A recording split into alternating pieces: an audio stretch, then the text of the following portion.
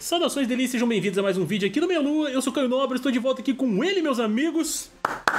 E aí, manos, opa. E aí, manos, hoje Alanios vingativo aqui com vocês. Essa imitação do Hanzo Hasashi agora. Falhou. Deu uma falhada mesmo aí. Eu acho que a garganta deu um pigarro, alguma coisa do É, gênero. é, é. É isso aí, meus amigos. Eu estou aqui com meu querido Alanios Hasashi, Alanios Escorpião. Eu sei que ele quer se converter, cara. Ele quer deixar o geladinho de lado depois de É, assistir é só essa intro, animação. vai. Não é só intro, não. Eu sei que você sentiu isso quando você assistiu esse filme, cara. Porque hoje nós temos que falar, meus amigos, de Mortal Kombat Scorpion's Revenge. Ou a vingança de Scorpion, né? Traduzindo aqui pro português. Porque, Alanios, que filme, cara. Que filme, mano. Jesus! A gente vai falar sobre tudo que a gente achou aqui a respeito, entendeu? Sem spoilers, porque o filme tá saindo hoje, data que a gente tá lançando esse vídeo, então a gente não quer estragar a experiência de ninguém. A gente vai basicamente citar momentos que a gente vê no trailer, tá? Pra poder embasar o que a gente quer falar. Mas antes de continuar, eu gostaria de pedir a você que deixe deixar o seu like embaixo, inscrever no canal, ativar o sininho pra não perder notificação dos próximos vídeos, meus amigos. É uma regra do YouTube, então já tive a poder ficar esperto e vem com a gente. Não se esqueçam de seguir nas redes sociais, tá aparecendo pra vocês o meu Twitter e o meu Insta e logo em seguida do Alanios. Então vamos lá, meu querido Alanios. Eu estou deveras empolgado com esse filme, com a participação do meu quentinho nessa desgrama, que foi muito bom. Eu te passo a palavra pra você começar falando aí, cara, suas impressões desse negócio que tá, tá delícia, cara, tá delícia. Nossa senhora. Olha, vou ser muito claro que eu esperava uma coisa e eu fui completamente surpreendido, positivamente, pelo que eu encontrei. Eu esperava que ia ter violência e tal, né? O Ed Boon mesmo falou que em alguns momentos ele achou que os caras estavam exagerando por ser uma animação. A gente viu no trailer Red Band, né, Alanios, lá, o tanto Exatamente. que o negócio tá com groselha pra cacete, né? Pra ser sincero, foi uma surpresa muito positiva. De um modo geral, eu gostei muito de tudo que eu vi. Então, eu já começo falando de cara aqui. O fato de eu saber a história do Mortal Kombat não significou nada. Grandes surpresas do início ao fim. Exatamente, cara. Eu acho que esse é um dos pontos que a galera que conhece a história do Mortal Kombat, assim, de trás pra frente, como a gente e tal, vai se impressionar logo de cara. Tipo, caramba, mano, eles mudaram isso, sabe? Porque, de fato, a gente tava conversando depois de assistir o filme Eu e o Alanios, e a gente tava falando, mano, você reparou tanto de coisa que eles mudaram com relação à história? E a gente não fala só no decorrer da história, como certas coisas se desenrolam, até mesmo mortes de personagens que a gente conhece ali, que acontecem pelas mãos de alguns, foram trocadas pra mãos de outros, né, Alanios? Exatamente. Então, não foi uma situação inverter a ordem, né? A gente sempre comentou que imaginava que seria algo nos esquemas ali do, do filme da década de 90, né? Porque quando a gente olha pro trailer, é essa expectativa que cria. No entanto, na hora que a gente vai ver a obra final, eles mudaram muita coisa. No entanto, foram mudanças que eu achei muito boas. Foram mudanças que justificam algumas coisas que outras não justificavam tanto, sabe? Então, quando você pega a história original, você vê os fatos acontecendo, algumas situações não se justificam. Você tem justificativa para situações. Exato. E você tem justificativa para coisas futuras que vão acontecer. Exatamente. É uma amarração muito bem feita que a gente olha agora e fala, meu, isso deveria ter acontecido na história do, do jogo desde o primeiro jogo. Eu acho que isso fica muito claro, principalmente na origem ali do Scorpion. Como acontecem as coisas com o clã dele. Aquilo que a gente sabe, que os Shirai Ryus são assassinados ali pelos Lin Kueis, entre aspas, entendeu? Tudo aquilo é abordado em detalhes na animação. Desde a relação do Scorpion com o filho dele também, para poder deixar a gente ainda mais dentro daquilo ali. Então foi bonito de ver, foi legal demais. Essa passagem na animação, cara, é nota 10 pra mim, sabe? Eles estão de parabéns porque eles conseguiram mostrar pra gente o que muitos pensavam no Mortal Kombat 1, que o Scorpion era o vilão, porque É. ele era um caveirão e tudo mais. A gente vê na animação, cara, que todo aquele ódio, aquela vingança que ele sente e tudo mais que a gente vê nos jogos é bem justificável e a gente fica do lado dele. Isso ficou demais assim, e ainda com um adendo da violência, cara, ainda pra poder causar aquele impacto maior, né, Alanis? Quando Sim. acontece as coisas, a gente vê assim, aquele monte de groselha no chão, assim, da galera já morta, aí depois das lutas ali, a gente fica, caraca, mano, como é que pode, né, velho? Nossa, é muito bom. É, uma coisa que eu gostei muito foi o quanto a violência acrescenta ao personagem Scorpion. Sim. Nos momentos em que ele tá desesperado, nos momentos em que ele já se transformou. É interessante porque ela acrescenta nele. Ela não é uma violência que é gratuita, assim, tipo, tá lá só por prazer dos fãs. Ela consegue acrescentar na personalidade, ela consegue acrescentar na habilidade dos lutadores lutadores. Então é interessante porque, mesmo sendo muito violento, ela se justifica no porquê ela tá ali dando força pro desenvolvimento do personagem. Eu gostei muito disso. Uma coisa que eu adorei muito também foi a forma como eles apresentam esses personagens. No primeiro momento, a apresentação do Scorpion é um negócio que você fala: Meu, esse cara é muito foda. Nossa, eu queria um pai assim. Sim, cara. Pra quem é fã do Scorpion, né, Alanis? Eu falei isso quando eu terminei de assistir o filme. Imediatamente eu mandei mensagem pro Alanis. Falei, Alanios, quem é fã do Scorpion nesse filme, cara, vai pirar. Porque a sequência inicial, igual o Alanis tá falando aí, que queria ter um pai igual o Scorpion, é muito justificável, cara. Porque o ele é atencioso pra caramba, ele é carinhoso, ele é honrado, entendeu? Ele preza pelo clã dele e tudo mais. Ele é um cara pacífico, mano. Até eles fazerem o que fazem com ele e o clã dele. Sim, eu, eu não vou entrar muito no detalhe do que eu gostei ali nessa relação, porque eu gostaria de deixar isso mais pra frente pra uma análise com spoiler. Sim. Mas é, é uma coisa que você fica encantado quando você vê aquela troca entre pai e filho. É, é um momento muito marcante. É a primeira cena, né, Alanis? Exatamente. Sim. E depois disso, né, no desenvolvimento, na dor que ele sente e tal, o personagem ele vai se desenvolvendo de uma forma muito bonita, assim. Aí no momento, a hora que ele tá ali, né, com o espírito da vingança e tal, ele também continua se desenvolvendo. Uma apresentação que eu gostei muito foi a apresentação da Sônia, porque eles dão um jeito de falar para você, olha, esse daqui é a Sônia, de uma forma muito, eles jogam na sua cara. Você já sabe quem é ela. É um detalhe que eles estampam na sua cara, assim, falam, ó, tá vendo? Se você não percebeu ainda, essa aqui é a Sônia. E eu gostei muito disso. E eles meio que tratam todos os personagens dessa forma. Eles dão um pequeno background para cada um ali, né, Alanis? O foco do filme é o Scorpion. Ele tem mais tempo de tela do que os outros, tá? Isso aí a gente já deixa bem claro aqui, porque Scorpion's Revenge, o nome da animação. Sim. Então é natural que a gente veja o Scorpion aparecendo mais. Mas esses outros personagens que aparecem, Liu Kang, Johnny Cage, Sonya, eles têm ali o seu papel específico dentro da trama e eles têm um background ali que é passado pra gente, seja por flashback ou por alguma situação, que é bem sucinto e já diz pra gente quem é o personagem ali. Ao mesmo tempo em que ele tem como foco, né, contar toda a história do Scorpion e trazer uma nova interpretação para a história do personagem, diga-se de passagem, um ponto importante é que essa é também uma história de origem. Então ela fala sobre os personagens que a gente já tem como principais ali e como que eles foram parar no Mortal Kombat e os porquês de tudo isso. Sim. Então esse background ele tá todo ali. Então, é uma história de origem que não é só do Scorpion, ela é também dos outros personagens. E eu gostei muito porque apesar, né, do, do foco ser o Scorpion durante o filme inteiro, os outros personagens eles estão muito bem posicionados no desenvolvimento da história. Teve um momento no Johnny Cage que eu achei que ficou meio aquém. Sobre esses momentos aquém, eu tenho algumas ressalvas também poder falar de algumas coisas que foram assim resolvidas muito rapidamente. Dando um exemplo, pessoas que podem pegar o filme e não conhecer direito a história do Mortal Kombat. Eles vão ver um determinado personagem ali que vai aparecer e vai sumir assim, no instalar de dedos e tipo, uai, mas quem que é esse cara? Aparece muito rapidamente, eles dão uma solução muito rápida ali para aquela luta que tá acontecendo e acabou. Você fica com mentalidade ali, tipo, ah, o mocinho que eu tô vendo aqui venceu. Foda-se outro cara que eu nem sei quem é. Fica essa sensação pra gente. Mas claro que a gente conhece a história, a gente sabe, pô, nossa, é o personagem tal que apareceu ali, que tá lutando com fulano, e isso é muito legal. Agora, principalmente, a gente vê no trailer, né, Alan? Isso é uma coisa que a gente pode comentar. Tem o embate do Scorpion e do Sub-Zero. A gente viu no trailer Sim. isso. E esse embate, para mim, também deixou um pouco a desejar, cara. É, eu acho assim, o que faltou realmente foi esse trabalho em personagens secundários, que complementam a história. Para ser sincero, para entender que eles fizeram esse filme pensando em quem conhece Mortal Kombat. Com certeza. Tem um detalhe ali do Scorpion e do Sub-Zero que quem é fã,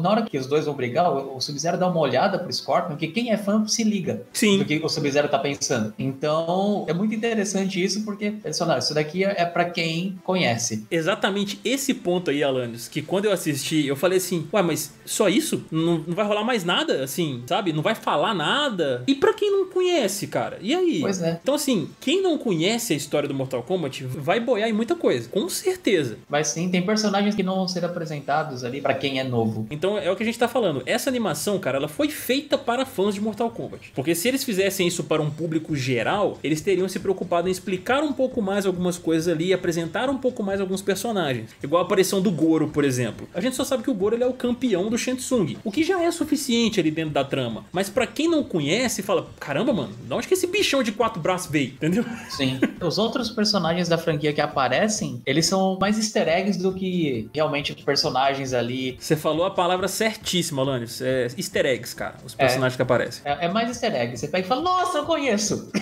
Sabe? O filme, ele é recheado de fanservice. Nossa senhora. Sim. É muito fanservice mesmo para quem é fã da franquia. A gente tem ali dentro golpes característicos que a gente conhece dos jogos. A gente tem fatalities acontecendo ali dentro. Tem fatality sim, meu Deus do céu. Alanis, caralho. Só de lembrar eu fico até arrepiado. É. tem brutality também. Brutality que acontece no Mortal Kombat E no Mortal Kombat 11. E eu tenho que dizer, Alanis, também que com relação aos traços do filme, a animação em si, muita gente deu uma reclamadinha, achou meio esquisito e tal. Eu gostei logo de cara quando eu vi o trailer. E no filme, cara, faz jus ao que eles mostraram de fato. Principalmente nas animações que eles fizeram, nas lutas, cara. Flui tudo muito bem. Não tem aquele corte de frame que, por ser desenho, que fica esquisito, sabe? Não, a gente vê os golpes, chutes e golpes especiais acontecendo ali. Acontece tudo numa fluidez muito impressionante. E eles capricharam na animação, cara. As cenas de luta eu gostei de todas. Eu achei que ficaram muito bem feitas. Eu tenho sim algumas ressalvas de uma pegada que me lembra muito Dragon Ball Super. Você olha e você percebe que aquele quadro ali, o cara que desenhou já estava cansado. Máscara do Scorpion. Eu fiquei prestando muita atenção no, no, rosto dele. E tem algumas horas que eu percebi e eu falei assim: Meu, tá torto.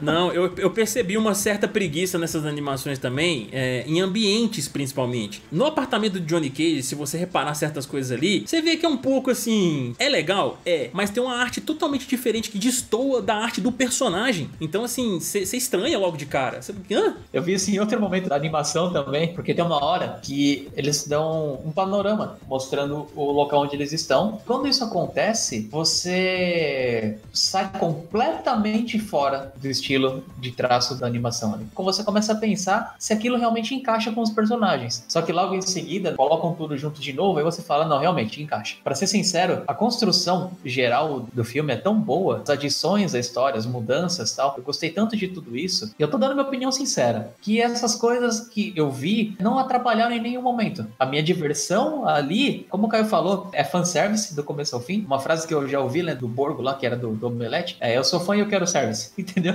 Sim, exatamente isso que acontece em Scorpion's Revenge, entendeu? A história, ela é muito rasinha, entendeu? É basicamente o torneio acontecendo ali. O Shansung, ele explica muito sucinto o que, que é o torneio, o que, que tá acontecendo. Se eles ganharem a décima aí, eles vão poder fundir com a Terra. Citam o Shao Kahn também, que a gente já viu no trailer, que ele aparece lá em uma animação rápida, num frame ali. Então, assim, rasa que eu digo não é no sentido ruim, tá? Porque, como a gente disse, isso foi feito para fãs de Mortal Kombat. O que tudo que tá sendo explicado ali, a gente já sabe e também a gente entende que a história do Mortal Kombat, os primeiros, ela não é uma história muito profunda. Não é, entendeu? É basicamente um torneio ali que vai decidir o destino da Terra, sabe? Contra os vilões. E a gente vai desenvolvendo daí os personagens, entendeu? Que no caso desse filme foi focado no Scorpion, então por isso que ele tem uma participação maior, por isso que a história dele é mais aprofundada do que os outros. Isso é entendível também. Eles foram sinceros quanto à proposta que eles apresentaram pra gente. Com relação às mudanças que você falou, Alanis, eu achei muito bem-vindas as mudanças, porque teve coisas com personagens que acontecem ali, que a gente vê que é muito impactante nos jogos, né? Mudanças físicas, inclusive, que acontece de uma forma diferente na animação. Enquanto a gente sabe que na lore dele, é, eu não posso falar o nome, acontece assim assado, no filme eles já trocaram. Você sabe o que eu tô falando, né, Alanis? Sei, sei sim. pois é, então assim, eu, isso é uma coisa também que eu achei bem legal de acontecer. Algumas coisas eu senti falta, por exemplo, faltou poderes para alguns personagens ali. Igual, a gente viu a Sônia desempenhando o seu máximo, o Scorpion nem se fala. Nossa. Puta merda, o Scorpion ali, meu amigo, tá, tá bonito, tá bonito se é. ver. Mas outros ali, a gente sentiu uma falta ali de cadê aquele poder que a gente conhece tão bem, sabe? Eles poderiam ter encaixado isso aí. Um que eu acho que teve uma apresentação de poder legal foi o Sub-Zero. Eu acho que daqueles que tiveram, que foram praticamente easter egg dentro do filme, ele é quem teve uma apresentação mais legal de poder. Deu para perceber que o cara é forte. Um outro também, que eles mostraram de uma forma bem clara a discrepância de poder dele para os outros, foi o Raiden, cara. Sim. Meu Nossa. amigo. tem uma cena no torneio ali, que vocês viram no trailer que tem uma cena que o, que o Raiden desce, a gente fez um vídeo falando sobre isso. É nessa cena. Você lembra, Alanis, quando ele interrompe ali, aí ele simplesmente dá um tapinha com a mão para trás, o bicho voa lá na parede? Eu falei, nu! Vou falar para você assim que jogando com o Raiden, ele não parece ser tão forte. Exato, cara. em todos os momentos, quando ele aparece, ele tem esse ar de divindade. Eles conseguiram fazer isso muito legal. As características dos personagens dele, ele foi muito. No, chega até mesmo a ser estereotipado, sabe? então você tem ali as características do Liu Kang, da Sony, do Johnny Cage e tal. Tá muito marcante assim. E o Raiden em específico, cara, ele tem uma imponência na presença. Tratam ele com respeito. Não é aquilo que a gente viu no jogo, tá? Na moral. É, não é, cara. Não é, não é. É outro nível. Quando o cara apareça, Lord Raiden. O pessoal já abaixa a cabeça, já abaixa o tom da voz, entendeu? O único que responde ele à altura é o Shinsung. Só. É porque nós é brother, né? Com certeza. Alanios e ele aqui já tiveram uma relação de amizade muito grande aí no passado. Mas realmente, o Raiden, eu acho que ele foi muito bem representado nesse aqui. Eu gostei demais da forma que foi. E esse momento específico que eu tô falando no torneio ali, cara. Na hora que eu vi, sinceramente, eu reagi desse jeito que eu fiz aqui no vídeo. Eu falei, nu! Entendeu? Você sabe do que, que eu tô falando, né? Sei. Eu tava ali pá, assistindo assim, eu fiz, carai. Não, e, e ele faz isso com um bicho que é forte pra cacete, mano. Que quando a gente vê ele em ação, a gente fala, cara, ninguém vai ser esse bicho, não. Aí o Raiden É. vai lá, meu filho, com a mãozinha, puf, é o nu. É um negócio muito legal. A forma como eles trataram o Raiden ali, mostraram por que, que ele é um deus do trovão. Na verdade, eles justificaram o status dele de deus do trovão, protetor do reino da terra, de uma forma que, sinceramente, dentro da história do jogo, não é justificado. Me lembrou muito o respeito que o Raiden tem quando ele aparece lá no filme da década de 90, sabe? Aquele Raiden do Christopher Lambert lá, raindo o dedo assim. Eu acho que não, tá ligado? Shang Tsung, muito bom também, personagem muito bem trabalhado ali, mas nada muito diferente daquilo que a gente já conhece dele. E ele aparece bem menos também, né, Alanis? É, ele aparece bem menos, é só praticamente um, guia, né, pra história ali. E ele tem uns poderes meio que de Doutor Estranho. né? né? Agora, Quan Chi. Esse sim, meu amigo. Esse tá muito bem representado. Pra caramba. Desde a passagem em Netherrealm, que a gente viu no trailer que o Scorpion vai pra lá depois do que acontece com o clã dele. A gente vê como isso acontece, entendeu? Como ele encontra o Quan Chi, como ele se transforma no espectro. A gente vê isso tudo, cara. Como é que é o pacto entre eles ali. E, cara, a gente sente no tom de voz, nas expressões que o Quan Chi passa pra gente ali, o tanto que esse cara é filho da puta, entendeu? Nossa, é um filho da fruta, cara. Você fica com ódio do cara. Sim, ele é muito maldito. E isso nos leva ao ponto que a gente viu no trailer também, que é a luta entre o Scorpion e o Quan Chi. Meu amigo do céu, eu que sou fã de Scorpion, cara, eu emocionei. Eu, vou, eu tenho que dizer, eu, eu dei uma lacrimejada bonita vendo essa luta, principalmente nos clímax ali. Ai, Alanis. Olha, eu queria poder contar pra vocês essa luta. Porque coça, sabe? É muito bom é, esse momento, esse combate é muito, muito intenso. É, é interessante porque ali é um momento que você chega a vibrar junto com o Scorpion, sabe? A cada soco que ele acerta é um toma, filha da fruta, tá ligado? É. Não, a cada crushing blow, porque o filme ele é cheio de crushing blow, cara. Muitos, muitos e muitos e muitos. A cada crushing blow que o Scorpion fazia no Quan Chi ali, meu amigo, eu falei: caralho, vai, Scorpion, arranca essa cabeça dele, filho da puta.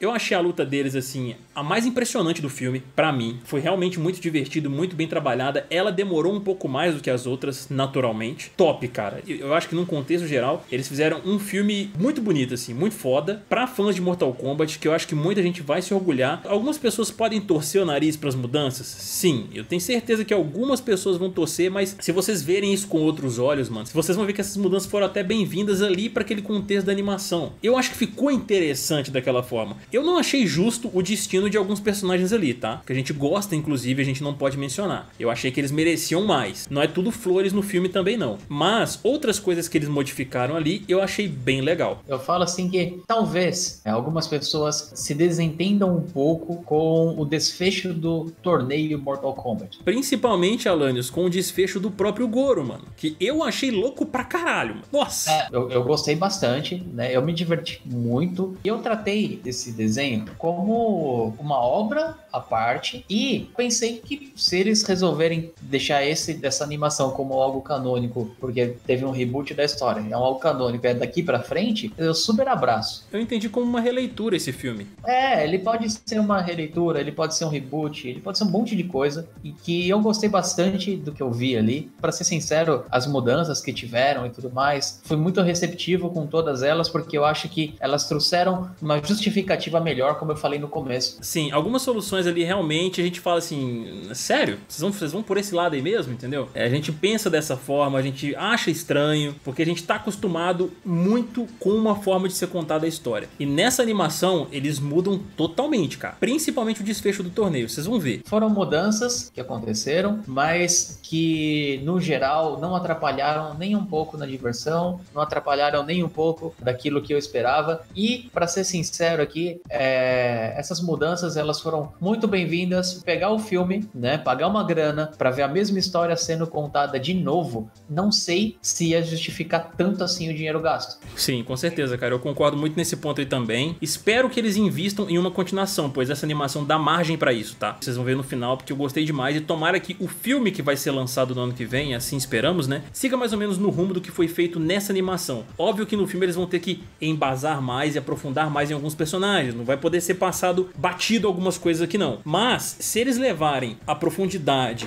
as lutas, a violência, como eles fizeram nessa animação, vai ser um filme top, cara. Se esse filme for metade do que essa animação foi, ele já vai ser bom. Bom, meus amigos, então é isso. Eu acho que a gente já falou bastante aqui já sobre o que a gente achou do filme, tentando evitar ao máximo dar spoilers para vocês, que a gente quer que vocês assistam aí, tenham essa experiência. No momento que está sendo lançado esse vídeo aqui, meus amigos, já deve estar disponível para todos vocês em mídia digital, em algumas plataformas para poder assistir. Então, recomendamos demais que vocês assistam, porque vale muito a pena, entendeu? Vale o investimento, principalmente se você é fã de Mortal Kombat. E a gente abre espaço para vocês aqui agora nos comentários. Quem já assistiu, comenta aqui embaixo o que achou do filme, sem spoilers, por favor. Não estraguem a experiência de quem ainda não viu. É... E quem ainda não assistiu, coloque aqui embaixo as suas expectativas e o que vocês acharam de tudo isso que a gente falou, se vocês ficaram mais mais hypados para poder ver e tal. Se vocês, depois desse vídeo, vão buscar aí a animação poder assistir e depois voltar aqui poder comentar. A gente vai adorar ver a opinião de todo mundo e não se esqueça novamente de deixar o seu like aqui embaixo, inscrever no canal e ativar o sininho para não perder a notificação dos próximos vídeos, meus amigos. Vamos ficando por aqui. Um beijo, gostou? Você deu uma olhada para a esquerda e direita de cada um de vocês. Até mais e fomos!